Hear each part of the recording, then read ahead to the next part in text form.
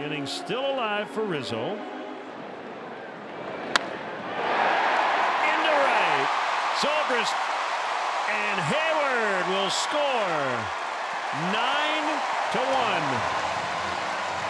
Man, this is just a second consecutive beatdown by these Cub hitters against this Pirate pitching staff. Great work by Rizzo with two strikes, delivering the solid single. Two more streak home. Clint Hurdle's going to come out.